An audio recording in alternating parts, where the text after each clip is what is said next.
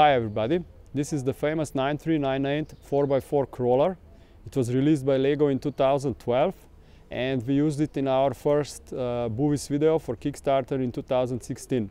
This is the actual model used for the video and we, have actually used it since 2013 to test and develop the BuWizz prototype. So actually th this model has quite a, quite a history behind it.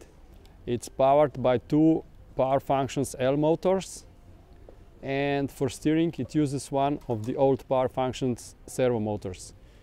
Uh, this is one of only three sets ever released with the servo motor. So besides this one, there was the 41999 version, basically of the more or less the same model, where the upper part was designed by Igor Kashio.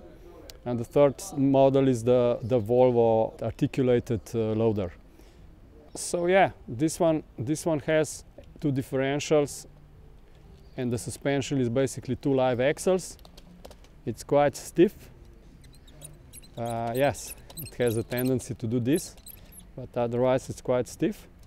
And you can easily change the drive gear ratio by changing this the gears here and here you can make it faster and then of course it has lower torque and it cannot crawl so much or make it slower with more torque where then there this is the real rock crawler. So basically this one is modified with BuWizz.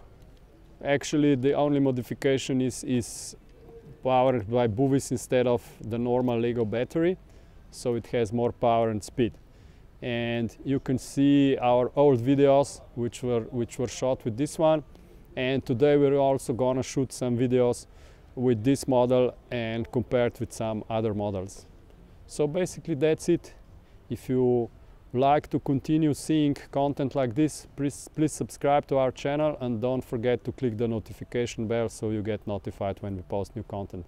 Thanks and see you. Bye bye.